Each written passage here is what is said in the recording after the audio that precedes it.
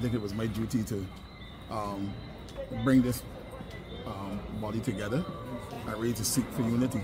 And that was the um, basis of the meeting tonight. Um, I've been given instructions to, um, well, by the body there, um, to lead the process of reconciliation, to stop the public utterances, and indeed to consolidate our support and our strength as a party. And I think that is my, my duty. I, of course, um, I was away for some time, but I think it's absolutely necessary now for me to get involved and to really seek for party unity. Who, um, were, who were the members of the meeting here tonight? Um, well, we had, we had, of course, the executive um, members who were elected um, into certain offices.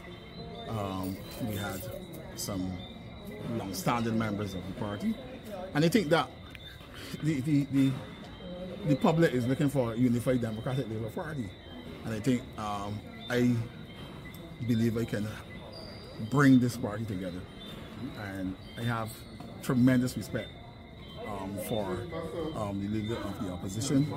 I have tremendous respect for the um, suspended president, and indeed we have some very outstanding individuals in the party, and I feel that um, once we unify our party for the sake of the country and for the sake of democracy, that um, we will be a force to be reckoned with. So, Mr. Lashley, you've had this playing out in the public sphere. We'll be asking for that. That's another thing.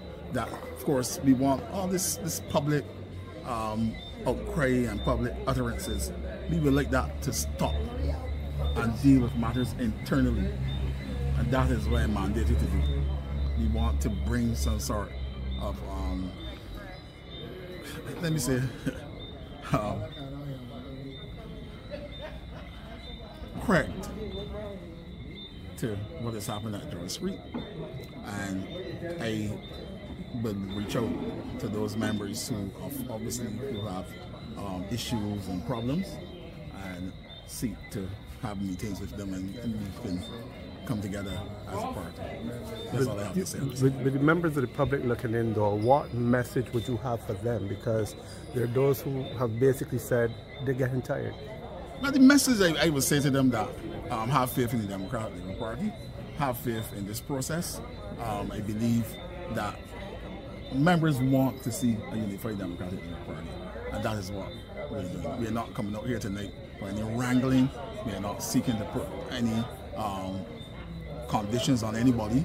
We just want unity and to have a dialogue and have discussions. That's all basically.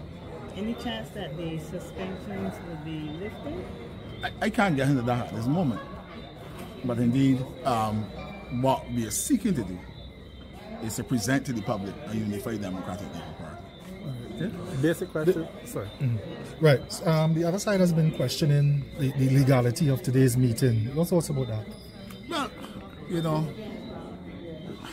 if we are speaking about issues of legality, everyone will have a legal opinion on, on, on whether it is legal or whether it's illegal. The courts will have to make a decision on that. I might have to put uh, an opinion on it, the other person might have an opinion on it, but I want to get from around that I really get to the to the government and really get to let us let us move forward. Let us go in the constituencies, canvas. Let us select candidates let us get out there in the field. Let us bring alternative programs. Let us start developing a manifesto. Let us work with one another. I mean, that is the issue. I, I think what, what, we're trying to, to get at is you called. Is it a, a, legal meeting or was this a meeting to This is a meeting. This this this is a meeting to discuss where forward for this party. And not an executive meeting as and, and, and to seek to, to, to bring about some normalcy and seek to settle grievances, a process of settling grievances. And that is it.